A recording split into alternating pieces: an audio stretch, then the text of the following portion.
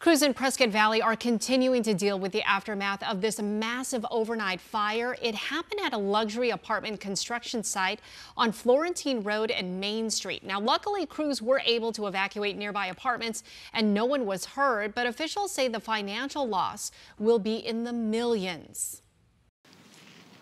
700 apartments that, were currently under construction burnt to the ground. Complete loss approximately $60 million in loss.